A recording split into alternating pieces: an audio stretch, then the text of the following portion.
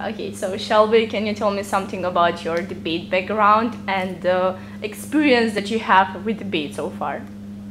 Sure, I have a very long background for debate. I uh, debated in high school. I also debated in college at Carroll College in Helena, Montana.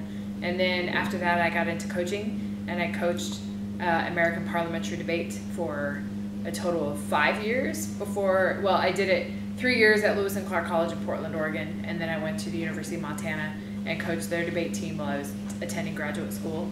And then after I finished school, I got the job at Rocky Mountain College, which I am still, I am currently at, and I finished my seventh year of teaching there. And so I've been coaching their debate team and teaching communication studies and and teaching public speaking and argumentation and organizational communication. So I've been doing that for seven years. So, what does it mean to be the International New Debaters track leader, and what is the importance of this track for the forum? I think it means a lot to me to be the International New Debaters track team leader because it's it's a tremendous opportunity for anybody who teaches public speaking or argumentation or debate to be able to be in this multicultural setting. It's a great opportunity and it's a great I don't know, it's it's an honor to be asked to be in that position. And it's one it's an opportunity that I don't have in Montana. And it just it's the IDEA is such a and the youth forum is such a great community and it's a great network and I'm just it's good to be a part of that.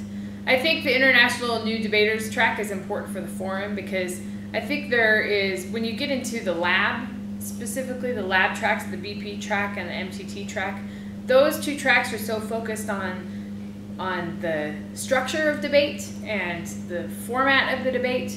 And I think that there needs to be the the the new debaters track focuses on what an argument is and what clash is and which are all foundations for debate. And so I think you can teach debate without teaching that structure but the structure is uh, important for competition. So I think it's it's important to have the track because argument comes first, and developing a good argument is you should be a good arguer. For school, for I mean, to be a good debater, but that extends into writing papers, that extends into your public speaking, that extends into your work life, you know, just being able to develop good arguments is a good skill. Do you think there is certain political background or let's say social class that debaters usually come from?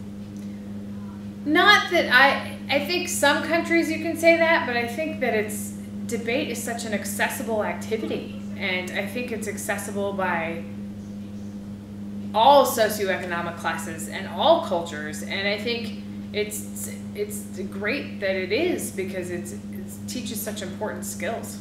So I think it's a I don't think it's a, excludes anybody, which is what I really enjoy about it, and it, it just makes the multicultural aspect of the forum even stronger that that we can have so many different cultures in the same place speaking about similar issues. So what were your expectations from this Global Youth Forum since you're leaving tomorrow? I'm leaving tomorrow, but this is my third forum as a trainer. My second one is the international or the new debaters track, and uh, my expectations. I, my expectations were just to have a great forum and to meet some great people. And I did. And I had great students in the IND track. And my IND track this year was smaller than the year before, so it was nice to be more focused and and the students spoke pretty good English, so it was nice to be able to really get into arguments and get into some really good activities with them. And uh, as opposed to last year. Last year I just had a bigger track. I still was really happy with the track last year, but it just I just wanted to I don't know meet some new people and be exposed to some new cultures, and I was. So it it definitely fulfilled my expectations as far as that's concerned. I, I felt that this crop of students this year, I felt that there was a real desire to learn.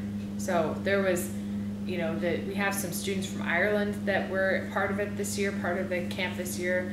Um, I had the a student from Serbia and one from Romania, and especially in the IND track, they just really wanted to learn how to debate, and that's that you know after teaching for seven years, those are the most. That's the most fun to teach because they just desire for so much information. They're like little sponges.